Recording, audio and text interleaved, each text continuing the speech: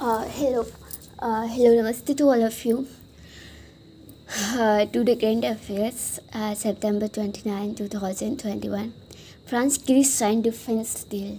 Okay, uh, France and Greece signed a multi-billion euro defense deal on September 27, 2021 to boost the defense capabilities. Okay, highlights the defense deal includes Athens' decision to buy three French warships and the strategy of boosting its defense capability capacities across the eastern Mediterranean amid recurring uh, tensions with Turkey.